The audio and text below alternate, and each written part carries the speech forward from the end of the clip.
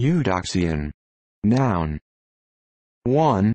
A follower of Eudoxius of Antioch, died in 370, Patriarch of Antioch and Constantinople, and a celebrated defender of the doctrines of Arius.